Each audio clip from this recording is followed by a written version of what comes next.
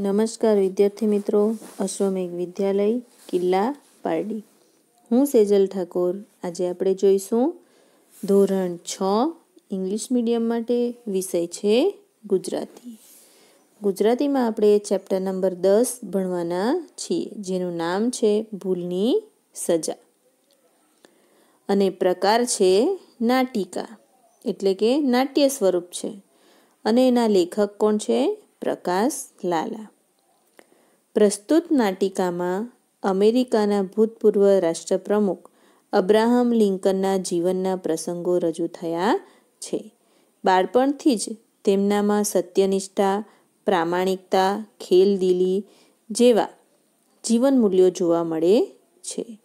પુસ્તક પલળી જવાના પ્રસંગમાં ભૂલના પસ્તાવા રૂપે શિક્ષક અને વિદ્યાર્થીના ઉમદા ગુણોનો અહીં સંવાદ રજૂ થયો છે. કેટલાક પ્રસંગો આપેલા છે. એ પ્રસંગોમાંનો એક પ્રસંગ, એટલે કે દ્રશ્ય એક, અહીં આપણે જોવાના છીએ.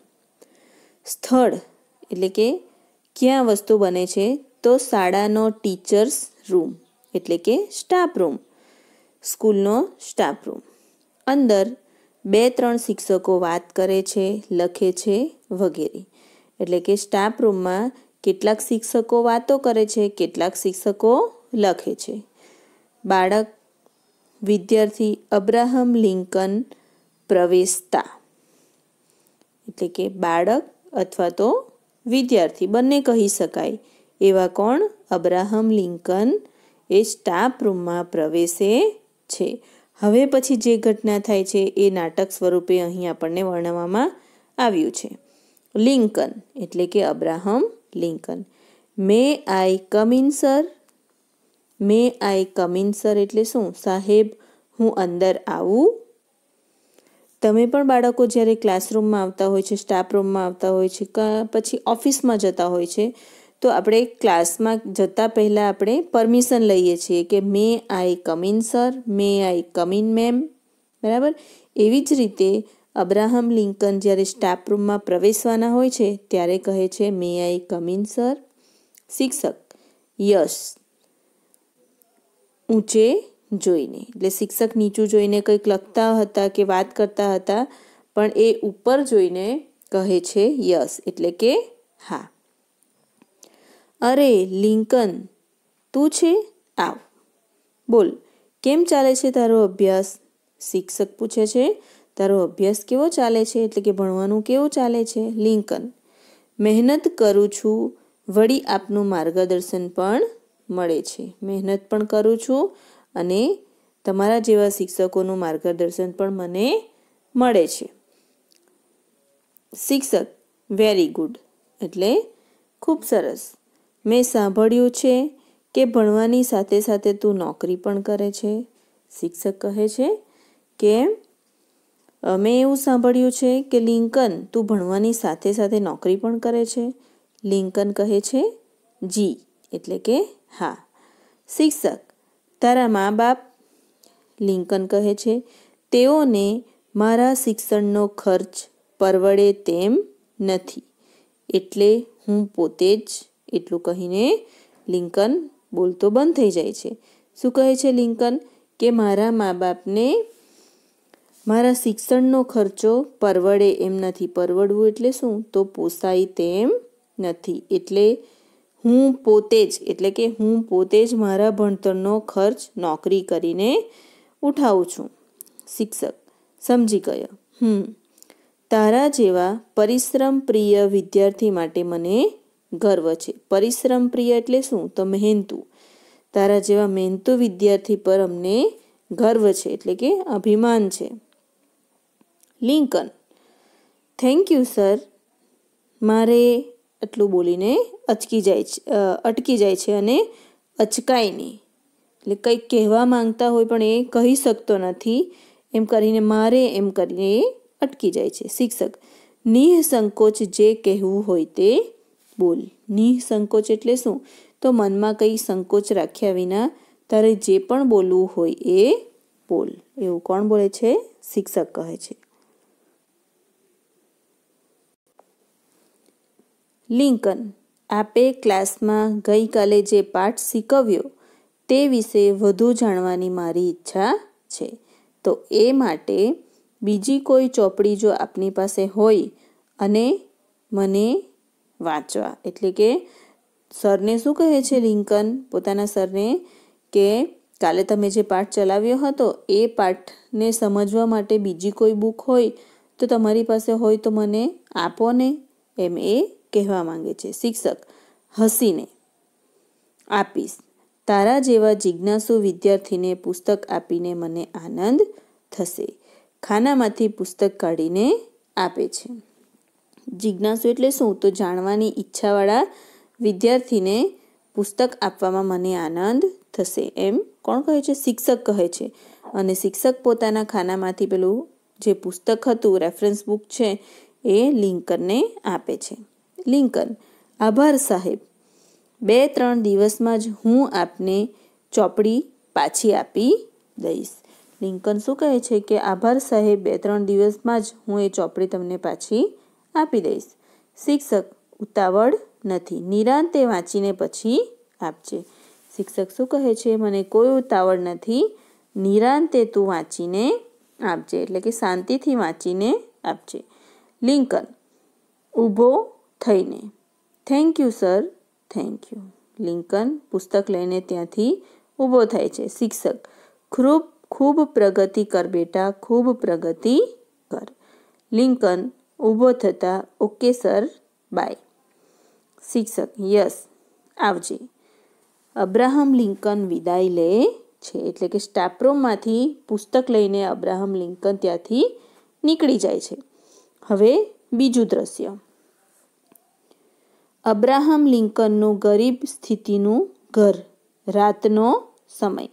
ઘડિયાળનો ટીક ટીક અવાજ. લિંકન સૂતા સૂતા શિક્ષકે આપેલા પુસ્તક વાંચે છે. ઊંઘ આવતા ઊંઘી જાય છે.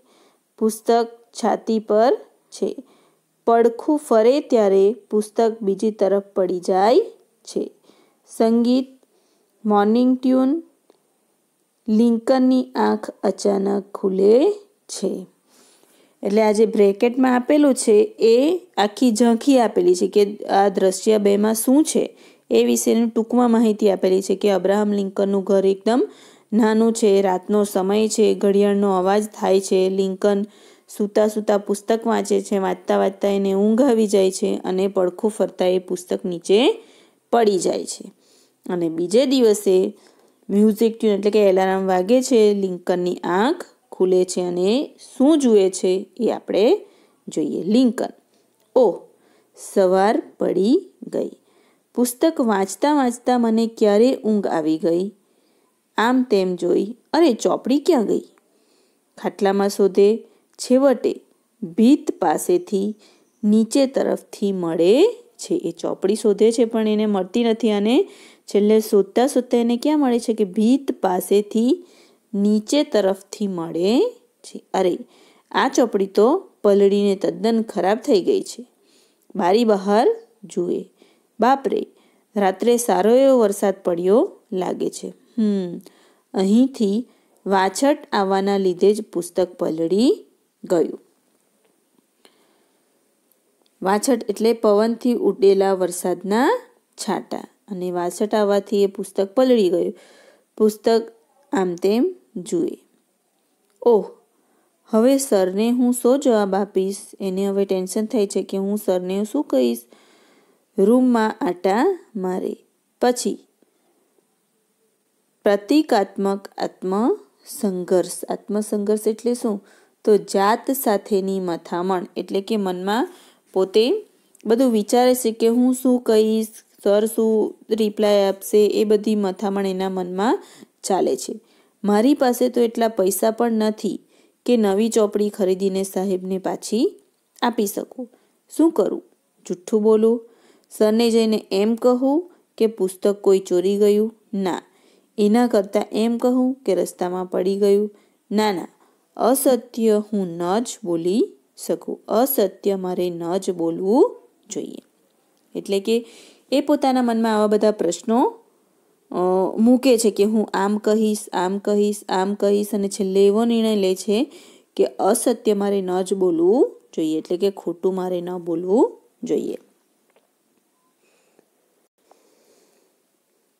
તો કરવું શું? શું કરવું જોઈએ મારે? શું કહેવું જોઈએ મારે? મારા શિક્ષકને. ખૂબ વિચાર, મંથન, લાઇટ ઓફ શેડોની ઇફેક્ટ, પછી પાકો નિર્ણય. હમ રાઈટ મારો આ જ નિર્ણય યોગ્ય છે. ફક્ત આ જ નિર્ણય. હવે એ નિર્ણય કરે છે. કયો નિર્ણય કરે છે? તો સાહેબ, મને જે કાંઈ સજા ફરમાવશે તે હું ભોગવીશ, પણ જુઠ્ઠું તો નહીં જ બોલું. અત્યારે જ સાહેબ સાહેબ પાસે હું જઈશ અને હું અમને, એમને સાચે સાચી વાત કહીશ. સાચા અને મક્કમ નિર્ણયનો સંતોષ એ સાથે ફેડ આઉટ હવે છે દ્રશ્ય નંબર ત્રણ. હવે આગળ શું થાય છે? તો અગાઉનો ટીચર્સ રૂમ સવારનો સમય લિંકન સાહેબની સામે ઊભો છે.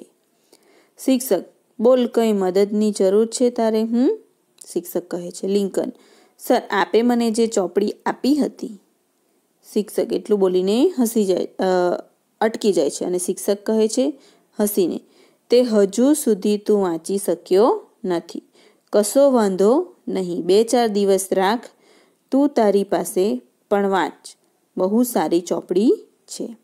લિંકન, સર, મારાથી જે ગફલત થઈ છે એટલે કે બેદરકારી. બરાબર?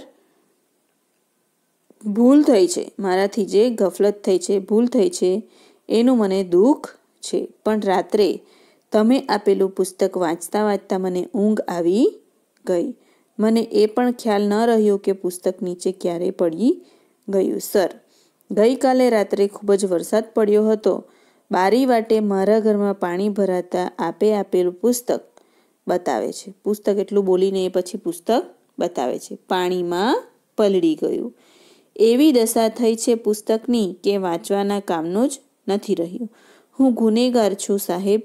હું તમારો ગુનેગાર છું. તમારી ચોપડી, એટલું કહીને અટકી જાય છે. શિક્ષક, નવી ખરીદીને તું મને પાછી આપી શકે તેમ નથી. એમ જ કહેવું છે ને તારે? લિંકન. હા સાહેબ, મારી પરિસ્થિતિ એટલે કે લિંકનની પરિસ્થિતિ એટલી સારી નથી. એટલા માટે ત્યાં અટકી જાય છે. શિક્ષક, આઈ નો, મારું પુસ્તક બગડ્યું તારી બેદરકારીથી, હમ? પણ લિંકન તું સાચું બોલ્યો? એથી મને ખૂબ જ આનંદ થયો. શિક્ષક પણ સર, આપનું પુસ્તક? લિંકન કહે છે, સર, આપનું પુસ્તક? શિક્ષક ભૂલનો એકરાર કર્યો છે તે, એટલે માફ કરી દઉં છું હું તને. લિંકન. એ આપની ઉદારતા છે કે આપે મને માફ કર્યો, પણ હું મારી જાતને માફ કરી શકું તેમ નથી. લિંકન શું કહે છે કે, તમે તો મને માફ કરી દીધો પણ હું મારી જાતને માફ કરી શકું એમ નથી. શિક્ષક કહે છે, મતલબ? એટલે કે તું શું કહેવા માંગે છે? લિંકન, પુસ્તકની કિંમત શું ચૂકવી, હું ચૂકવી શકું? એટલી રકમ તો નથી મારી પાસે. પણ આપ મને, આપને ત્યાં થોડા દિવસ કામે રાખી લો. હું એ રીતે આપને આપના પુસ્તકની કિંમત ચૂકવવા માંગુ છું લિંકન શું કહે છે? કે તમે મને તમારા ઘરે કામે રાખી લો. એટલે હું એટલા જેટલી કિંમત પુસ્તકની હતી, એટલી કિંમત હું તમારા ઘરે કામ કરીને પછી એ હું કમાઈશ અને એ મારી જે ભૂલ થઈ હતી એનું હું પ્રાયશ્ચિત કરીશ. શિક્ષક, દ્વિધા અનુભવતા. દ્વિધા એટલે શું? કે દુવિધા અથવા તો મૂંઝવણમાં પડ્યા. પણ મેં તને માફ કરી દીધો છે. પછી તારે શિક્ષક શું કહે છે કે મેં તને માફ કરી દીધો છે, પછી તારે શું કરવા કામ કરવું છે? લિંકન કહે છે, આપના માટે નહીં, મને મારા મનની શાંતિ માટે. Please please sir, please. થોડા દિવસ કામ કરવાનો મોકો આપો. મોકો એટલે કે તક. એ લિંકન શિક્ષકને આજીજી કરે છે કે, પ્લીઝ મને થોડા દિવસ કામ કરવા માટેનો મોકો આપો. શિક્ષક ખૂબ જ મથામણના અંતે, ઓકે, આવતીકાલથી રોજ સવારે મારા ઘરે આવીને તું બાગકામ કરજે. છોડવાઓને પાણી પાજે શિક્ષક શું કામ સોંપે છે? કે શિક્ષકના ઘરે આવીને બાગકામ કરવાનું, છોડવાને પાણી આપવાનું કામ સોંપે છે. Lincoln, thank you, sir. શિક્ષક હસીને, હવે તું તારું મન હળવું થઈ ગયું ને? શિક્ષક શું કહે છે?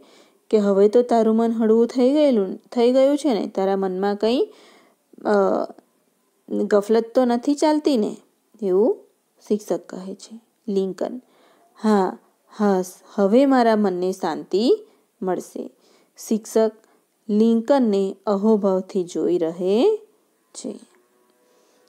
તો મિત્રો, ચેપ્ટર નંબર દસ અહીં આપણું પૂર્ણ થાય છે અને સ્વાધ્યાયના, તમારી ચોપડીની પાછળ જે સ્વાધ્યાયના પ્રશ્નો છે એ સ્વાધ્યાયના પ્રશ્નો તમારે લખવાના અને તૈયાર કરવાના રહેશે. Thank you